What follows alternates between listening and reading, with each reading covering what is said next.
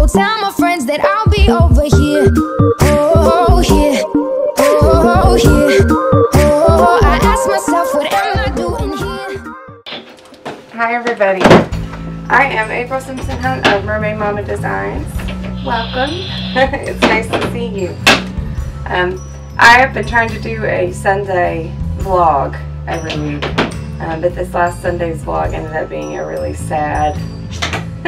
I was having an emotional day, and I was very sad that day. Um, so that was kind of a downer. Um, I watched the video myself afterwards, and I thought, uh, I don't really know if I should keep this up here, but I am keeping it up because I know that other people struggle with things around the holidays, um, especially if they've had a loss in the last year like we have.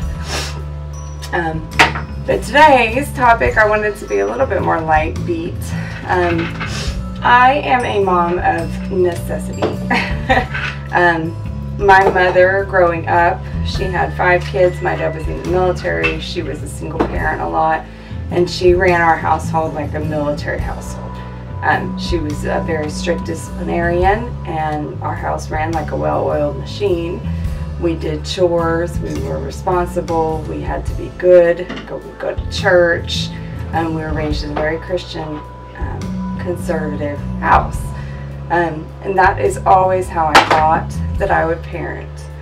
Um, and then I had a kid. and the things that I've discovered about myself um, are that I, like I said, I'm a parent of necessity. Um, there are certain things, certain uh, ways of disciplining that I feel are necessary. Um, it is very much my responsibility to teach my children to be good people and not be assholes. That's my job. Um, but at the same time, um, I don't always want to fight that battle. Um, my mom, uh, I'm very jealous that she had, she seemed to have this parenting gene uh, that she could fight all the battles all the time and win. Um, and don't get me wrong, I feel like I can absolutely win if I need to, if I put my foot down. But there are some times when mama just ain't got time for that, and I'm just too tired for that. Um, uh, not maybe not so much with my first child. Um, my husband and I had our first child, and then we broke up for a little bit because we had such different uh, parenting styles and beliefs, and we are just on opposite planes on most things. Um, so we broke up for a little while, and we ended up getting back together and getting married, and I up getting pregnant again, and I had a second child. And he has two children from his uh, a previous relationship. Um, so we have four kids all together. Um, so I went from being a mom of one to being a mom of four pretty rapidly. Um, and I, I kept telling him I feel like my parenting skill level is at like a level toddler and I'm parenting preteens, which is, is still kind of how I feel sometimes. I feel like I'm too tired for it. I don't want to mess with it. Um, there are certain things, uh, lying, respect, um, like I said, my kids not being assholes. there are certain things, character issues, that are important to me, and I will absolutely put my foot down and I will raise my children, uh, discipline them if I have to. But there are other things, like a two year old eating candy, that I'm not. Ain't no mama got time for that. I'm not gonna fight that battle. Um, I will. I mean, granted, she doesn't need to eat a whole bucket full of chocolate. Um, but I breastfed and I co-sleep with my kids. Um, and I always, uh, sometimes, you know, you get the pats on the back, like, way to go, good for you for breastfeeding. And I don't say this to demean breastfeeding at all, but I breastfed because it was cheap and it was easy. Um, it's what's best for my kids, and I like to think that I do what's best for my kids regardless. Breast milk is what was best, and I was very blessed to be able to breastfeed. Uh, I saw a lot of women that struggled with breastfeeding, so I know how blessed I am. Um, but I didn't have to get up at 2 a.m. for a bottle. I didn't have to pump for days on end. I could just roll over and stick a boob in her mouth and go back to sleep. And that is probably how I would describe my parenting. Um, You can call it necessity. You can call it laziness. Whatever you want to call it. But I have four children. I am outnumbered, outmanned. Um, Daddy's not here very often.